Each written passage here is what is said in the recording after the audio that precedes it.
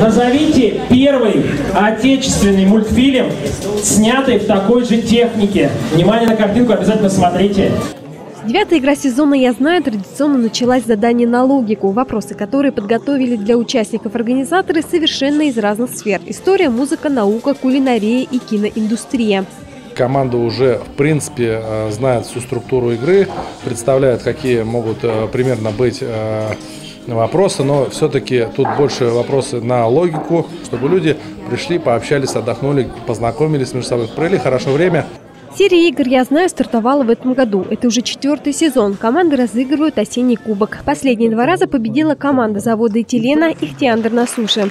Завоевать победу помогло а, какой-то дух внутри, олицетворяло нас это, и рвение только к победе, к победе, я думаю. Ну и, во-первых, как бы, я думаю, что у нас самые умные люди работают.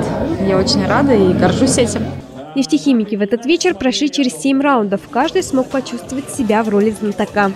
Весело, интересно, возможность отключиться от работы и пообщаться с ребятами с других цехов, с других заводов и со своими в неформальной обстановке. И также еще получишь э, э, драйв от игры, и просто там посмеешься и, как сказать, после рабочего дня.